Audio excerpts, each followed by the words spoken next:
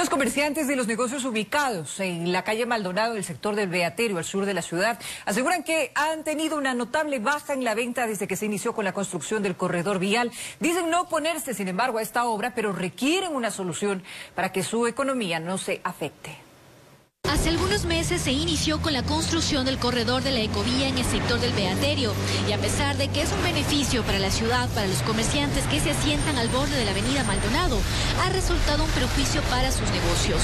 Cuando se comenzó a, construir la, obra para el corredor, lastimosamente nos afectó mucho porque no hay donde se estacionen los, oh, los clientes para, para abastecernos nosotros. Que las ventas han bajado totalmente. Ellos manifiestan que la obra permanece parada hace algún tiempo y los espacios cerrados en la calle podrían servirles para estacionar momentáneamente los autos encargados de llevar la mercadería que se venden en sus locales. Ah, nuevamente se va a habilitar esta construcción en seis meses. ¿Está suspendido el trabajo? Sí, está suspendido.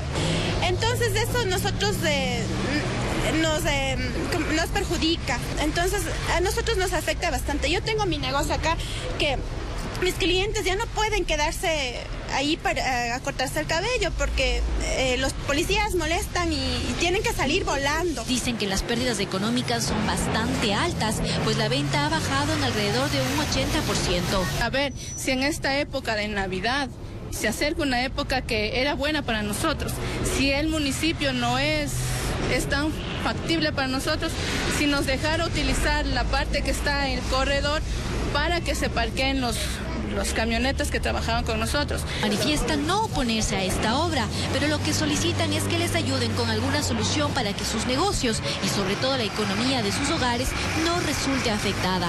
En Quito informó Alison Corral.